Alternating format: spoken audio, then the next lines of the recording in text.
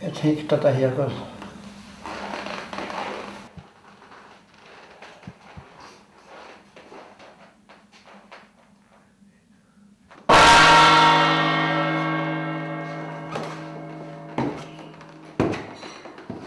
Habe ich mit sieben Jahren gemacht, die Zeichnung da. Ne?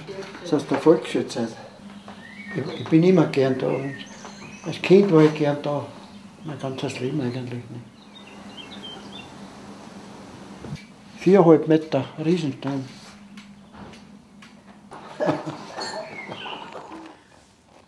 Das ist ein Kopf wieder.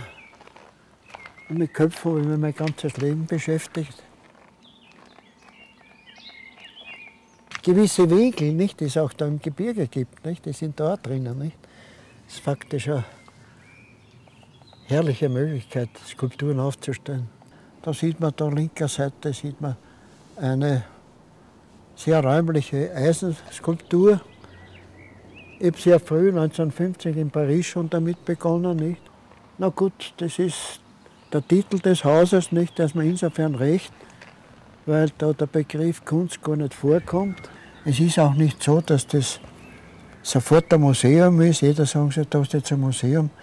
Das Museum kommt vielleicht, wenn ich nicht mehr, mehr lebe. Und bis dahin finden auch andere Veranstaltungen statt.